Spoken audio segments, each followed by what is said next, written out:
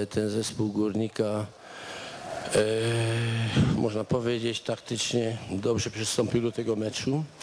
No niestety nie wytrzymaliśmy tego, tej presji końcowej. No i żeśmy, jak to się mówi, przegrali. Ale było dużo elementów pozytywnych, elementów, którzy daje nam nadzieję na to, że ten górnik będzie lepiej grał. Fakt jest, że może przy tych e, akcjach szybkich Wisły, przy tych bramkach, no troszeczkę żeśmy może złe ustawienie zrobili, ale bo przeciwnik nas po prostu e, lepszą grą przechytrzył w tych momentach. Ja jestem zadowolony.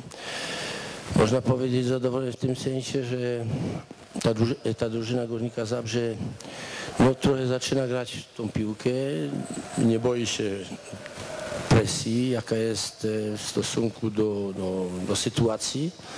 E, Dzisiaj to się potwierdziło po tym sukcesie UKS, z UKS-em.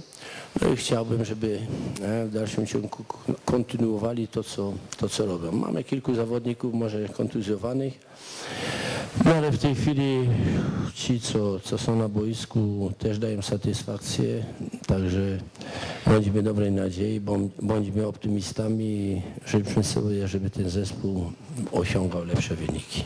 Dziękuję.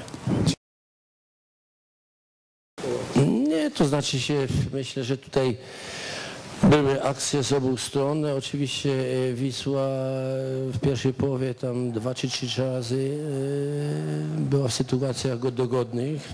E, Tutaj e, Sebastian e, Nowak, nasz bramkarz, e, bardzo dobrze się zachował. Myśmy e, też stworzyli okazję, szczególnie myślę, że taki moment był bardzo ważny w drugiej połowie, kiedy Pitry e, nie strzelił e, z boku, no ale myślę, że Wisła też zagrała dobry mecz, e, po prostu zareagowała po tej porażce z Legią.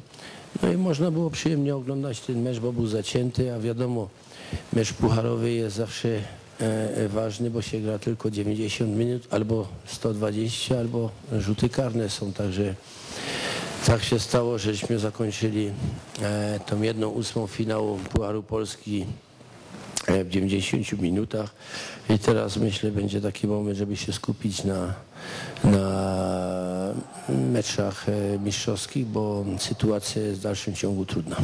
Dziękuję. E, Miałem problem, e, powiem Wam szczerze, nie wiem kogo, za kim poszedłem tam w kierunku prawej strony, bo myślałem, że tam jest ławka rezerwowych. W pewnym momencie przychodzę, patrzę, jest Andrzej Bar, mówi, co ty tu robisz? No to przeniosłem się na drugą stronę, ja mówię, to od kiedy tu jesteś?